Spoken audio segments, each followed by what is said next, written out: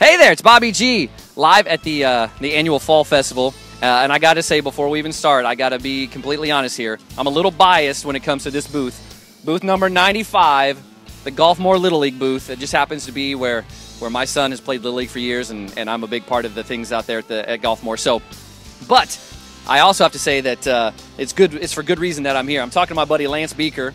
Lance, how are you? Good. How you doing? Uh, great. Uh, I'm about to be a lot better. Uh, Golfmoor has a brand new menu item this year. It's in your it's in your your hands here. Tell us about what this is. This year we decided to do what's called we're calling it the walk off chop to go along with the baseball theme. Walk off home run, walk off chop. See? That's right. That's right. We got to follow the baseball theme. So it's a uh, six ounce hand cut from the old fashioned butcher shop, uh, pork chop on a stick, so you can walk and eat it. Dip it in barbecue sauce. We have lots of different seasonings and sauces on the other side of the booth you can use. Pretty cool. So And this is six dollars. Is that correct? six dollars. Yep. And we also have another menu item in, inside the ribbon fries. Yeah, We do. Yep. We can call those the screwball tater. So again, going with the baseball theme.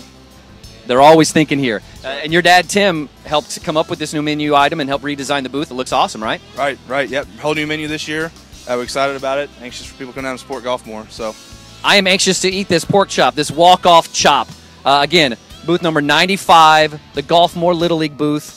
In, in addition to the great food, you're going to see some of these lovely ladies inside. Lovely ladies! Hey, girl, what's up? Just in here making chops, you know. All right, that's it. Golf bore. Then the screwball. There it is. The screwball and the walk off. It's a home run.